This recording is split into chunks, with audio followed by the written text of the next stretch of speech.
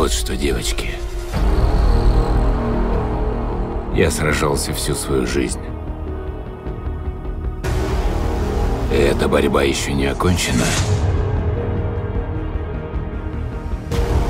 Они бросят против вас все, что у них есть. Чтобы выжить, вам придется познать боль. Встать на ноги и идти с ней дальше. Неважно, сколько боли вы способны причинить.